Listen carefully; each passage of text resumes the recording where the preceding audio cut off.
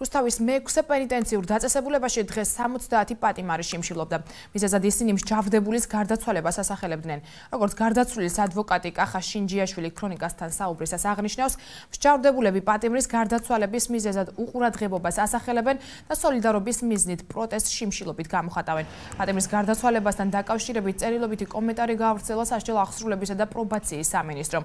უწყების ინფორმაციით მსჯავრდებულ სამედიცინო გამოკვლევების შედეგად სხვადასხვა სახის დაავადება დაუდგინდა და შესაბამისი მკურნალობა ჩაუტარდა. მსჯავრდებულს რამდენჯერმე ჩატარებული აქვს ანტიტუბერკულოზური მკურნალობა. 15 იანვარს მსჯავრდებულს მორიგე ექიმის მიერ მიეწოდა დანიშნული ფსიქოპროტული მედიკამენტი.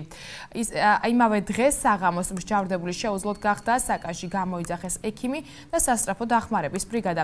მიუხედავად ადგილზე გაწეული ყველა საჭირო სამედიცინო დახმარებისა დაფიქსირდა ბიოლოგიური სიკვდილი. დანიშნულია შესაბამისი სასამართლო სამედიცინო ექსპერტიზა, რომელიც ბიოლოგიური სიკვდილის გამომწვევ ზუსტ მიზეზს დაადგენს, ნათქვამია უწყების მიერ გავრცელებულ განცხადებაში.